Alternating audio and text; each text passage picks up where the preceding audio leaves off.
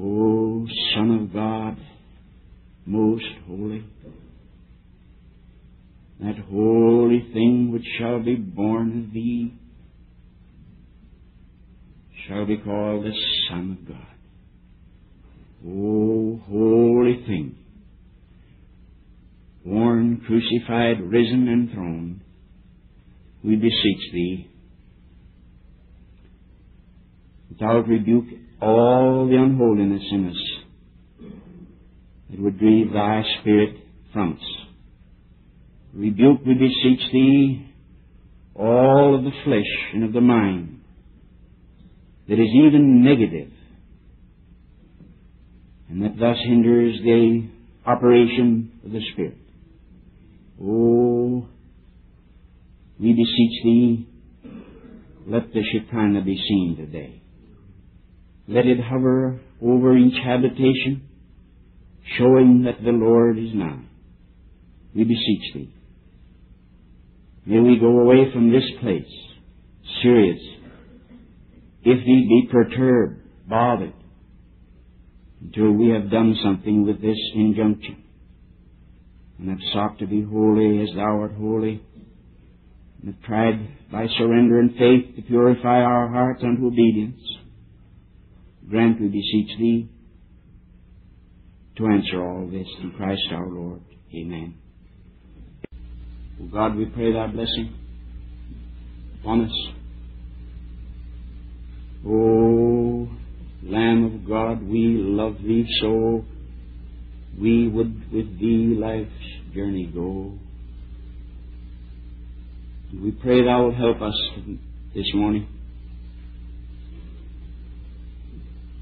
Hurt and humbled by our own unworthiness, the knowledge of and, and haunting memories of sins committed in the past, but by thy grace at the moment, we have no wish to sin. We wish only to, to love thee and live as we should. So please help us now, for Jesus' sake. The brethren will now gather while we sing. Father, we pray thy blessing upon this word. Now as we enter communion service, we pray that in utter humility, meekness, and humbleness of spirit, we may be and insist upon being what thou dost declare us to be. And we may deduce from thy own characterizations of us what kind of holy men and women we ought to be, showing forth the praises of Him who brought us out of darkness into His marvelous light. Take away all bitterness, all resentfulness, all disquietude, all discontent, and bring us, we pray thee, into mental and spiritual harmony as we think together of the shed blood and the broken body. In Jesus' name, amen. Well, God bless us. It's time we wake up, and I pray with the prophet, or with the hymn writer, awake, God turn, Almighty God turn off their eyes from all these alluring vanities. Let the thunder of thy word awake their souls to fear the Lord. May it be so. Pray thee, shut around us today by thy grace. Shut us out from the world's clamor, from the wagging tongues and the noisy booming voices, and the example that would lead us not toward thee, but toward the world. Save us from it. And shut us in with thee. May we think and talk and meditate on holy things today. Dismiss us now with our blessing. May grace and mercy and peace be with us through Jesus Christ our Lord. Now, our Father, we well know that spiritual things can't be reduced to formulas, even though we struggle so hard to do it. an impulse of faith, sudden reckless daring of the soul in its leap after God, will do more for us than all the carefully laid out sermons could ever do. If We've done all we can do. We've appealed to the intelligence, made some explanations, tried to say in our racy modern English what has been said with great and stately dignity in our Bibles. My God, now take this that's been spoken and apply it to our hearts. May we, one after the other, turn from Adam's unbelieving world with its self-confidence, its self-reliance, its arrogance, its pride, its mad pleasures, its love of wealth, its love of praise, its love of publicity, its inordinate love of clothing and of fine things and of rich things. Turn us, we pray thee, from it all, not only in our hearts, but in reality. And then turn us to Jesus Christ, thy Son. We need him, Lord. We gave up the world and didn't have him. We'd be in a vacuum. Thou quickly take us through that little vacuum and take us to Jesus Christ, who is the radiant source of everlasting life and peace, joy, world without end. Thou bless us now as we go on into the Lord's Supper.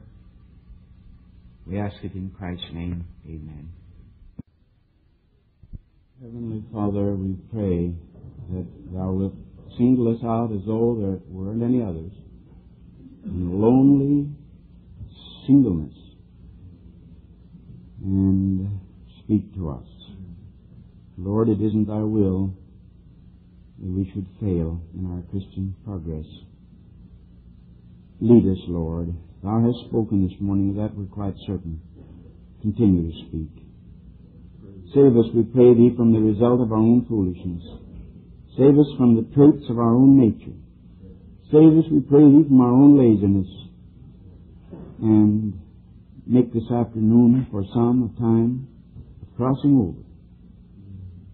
Now may grace and mercy and peace and the triune God Father, Son, and Holy Ghost be with us forever. Oh Lord, we pray Thee help us this morning.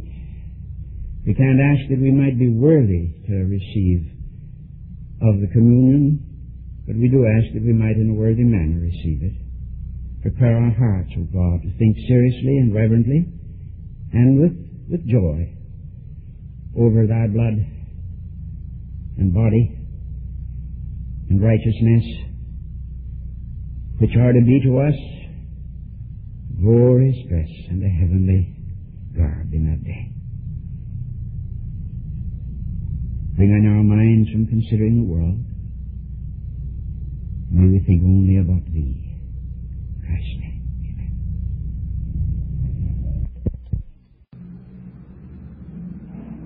Father, we pray Thy blessing upon the word given.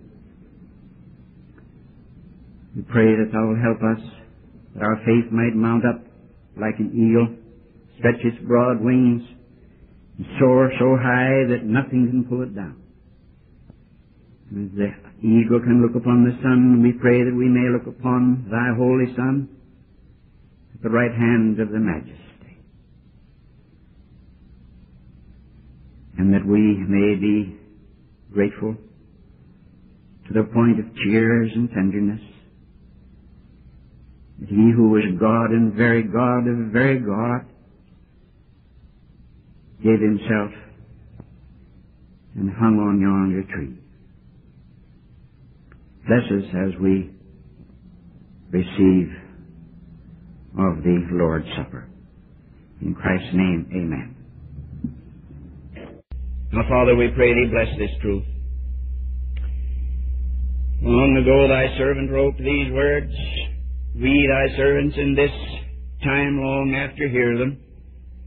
They're as living as if they'd been written yesterday and delivered this morning. Oh God, we lift our eyes to Thee to thy Son, Jesus Christ the Lord, who is above angels, who sitteth at thy right hand. And we pray, give to us a spiritual urgency. Give to us a longing which is more than human. Give to us, we pray thee, the desire that's like a fire burning in our bones. That the claims of Christ, thy Holy Son, may be so strong within us that we cannot neglect them. We shall press on like the day, spring, rise higher and higher to the shining light and unto the perfect day.